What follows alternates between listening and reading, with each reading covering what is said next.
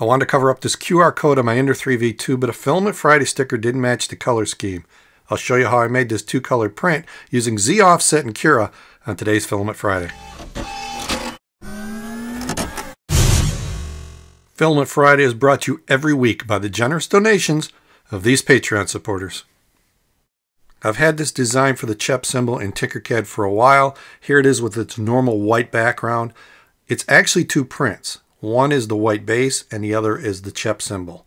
Now I'm going to print the base in black, but what I'm going to do is separate these two as two separate STLs. So I'll export the base as an STL, and then I'll export the CHEP symbol as a separate STL.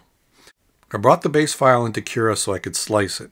Now I'll bring in the CHEP symbol as its separate STL file, and here the two files are. So what I actually want to do is get this thing to print on top of the base. Dimensions of these guys are both 2 millimeters tall and 40 millimeters X and Y.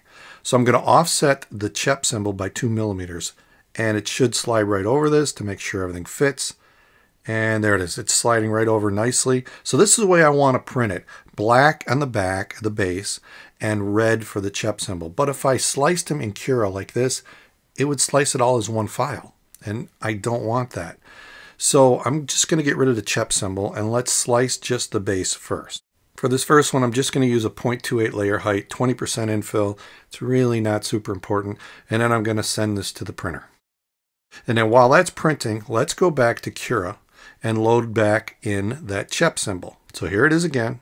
Now remember, I need this two millimeters off the bed when it prints. So I can offset it here by two millimeters in Cura in the image, but the problem is it needs to offset that in the G code. So if I slice it, it's just going to print it flat like this, no offset. So that'll basically interfere with that base. It's not going to print on top of it. That's where Z offset comes in. So let's just search for Z offset and there's no Z offset in Cura. Well, there's a fix. You go to Marketplace, you go into Plugins, and Z offset setting is one of the plugins. Install that, and then once it's installed, you will get an agreement you got to click on, and then you got to restart Cura. And here's the black, it finished, so I'm ready to send the red to it. So let's slice this guy with that Z offset. So let's search for Z offset again. And this time it shows up because the plugin is installed. It just offsets the print by whatever you put here. So I'm going to offset it by two millimeters, which is what I want. And then we'll slice it again. And slice it, and then we'll do a preview. And it doesn't show it offset. So Cura Preview doesn't show the offset, but what it does do is show me I have a skirt here, which I don't want. I don't want that, you know, falling around this thing because it's going to be two millimeters in the air. So let's go back and shut skirt off. I'm just going to say none, and then we'll reslice it. And then once it's resliced, here it is. Again, it doesn't show it two millimeters off, but the G code will do that. So now we'll take this and we'll send it to the printer and hopefully print right on top of that black piece that we just printed.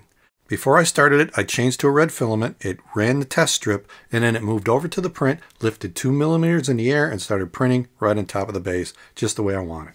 Now I didn't use pause at height or filament change or any of the other plugins because this allows me to do the two prints whenever I want. Finish the first one, come back later, do the second one, and here's the results.